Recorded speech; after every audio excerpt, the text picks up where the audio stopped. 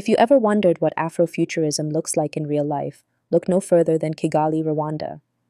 This is a city that has gone from recovery to reinvention, and today it is becoming Africa's own Silicon Valley. Sleek co working spaces, startup incubators, and innovation hubs line its clean green streets. Young engineers, designers, and coders are building the future right in the heart of the continent. But Kigali is not just dreaming of tomorrow, it is testing it. At the recent Aviation Africa Summit, Rwanda made headlines by launching Africa's very first test flight of a self flying electric air taxi.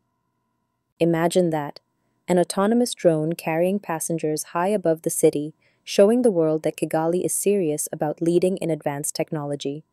For many, this moment was more than a test flight. It was a symbol of Afrofuturism, Africa shaping its own narrative of progress, where cutting edge innovation meets cultural pride. The same way Nollywood shaped cinema and Afrobeats shaped global music, Kigali is shaping the future of African technology. From its bold vision of a cashless economy to now pioneering flying taxis, Kigali proves that Afrofuturism is not just an art form or philosophy, but a lived reality. A future imagined in Africa, built in Africa, and flown above Africa.